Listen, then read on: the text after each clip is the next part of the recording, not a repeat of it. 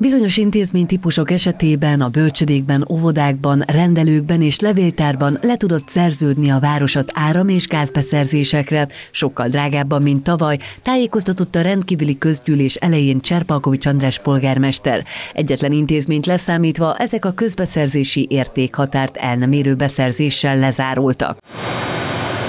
A rendkívüli ülés összehívását az ivóvíz szolgáltatás garantálása tette szükségessé. Az ukrajnai háború okozta energiaárrobbanás miatt került nehéz helyzetbe a fehérvíz.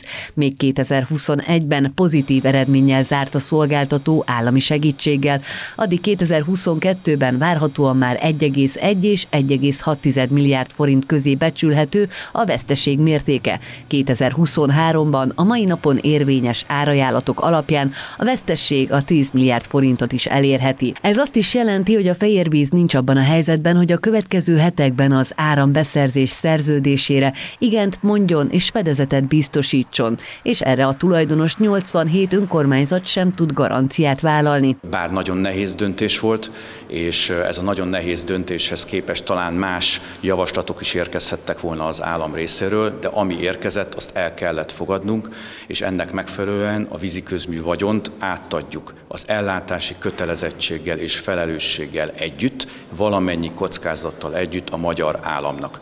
A magyar állam vagyonkezelésbe és üzemeltetésbe pedig a fehérvíznek fogja átadni szintén ingyenesen ezt a vagyont, és a szolgáltatást a jövőben is a fehérvíz fogja ellátni. Az állam ajánlatának elfogadása lehet ma az egyetlen garancia a stabil vízszolgáltatásra Fehérváron és a Fehérvíz által kiszolgált településeken, tette hozzá a polgármester. Fontos elmondanunk, hogy a Fehérvíz többségi, döntő többségi önkormányzati tulajdonban marad, azt a korábbi ellenzéki javaslatot, mi szerint új részvény kibocsátással jöjjön be az állam tulajdonostársként, ezt úgy néz ki, hogy a magyar állam elfogadja, és szavazat elsőbségi részvényként, de az 5%-ot várhatóan így fogja úgymond megszerezni a fehérvízben. Tehát ezt az ellenzéki baloldali javaslatot a kormány Fehérvár vonatkozásában elfogadta.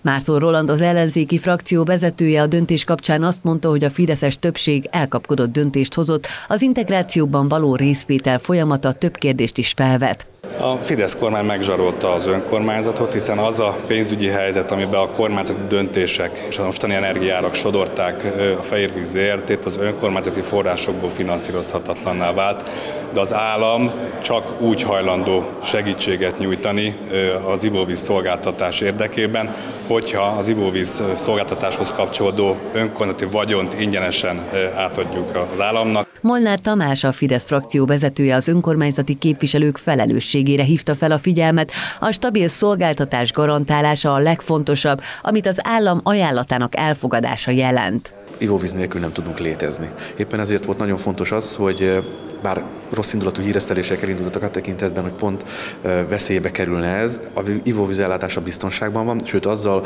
hogy az állam belép és közreműködő partnerként részt vesz az ivóvízellátás biztosításában, még nagyobb biztonsággal tudjuk majd ezt a, a szolgáltatást nyújtani a székesfehérváriak számára. Az állam 100%-os döntést vár el a tulajdonosoktól, ami várhatóan nem fog megtörténni, és a helyzethez képest az államnak kell majd meghozni a döntést, tájékoztatott a város polgármestere.